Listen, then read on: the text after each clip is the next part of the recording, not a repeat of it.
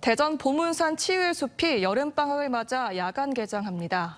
야간 개장은 매주 수요일과 금요일 저녁 7시부터 9시까지 이루어지며 여름밤 별의별 이야기라는 주제로 별자리 관측과 곤충 소리 듣기, 꽃차 마시기 등 프로그램이 진행됩니다.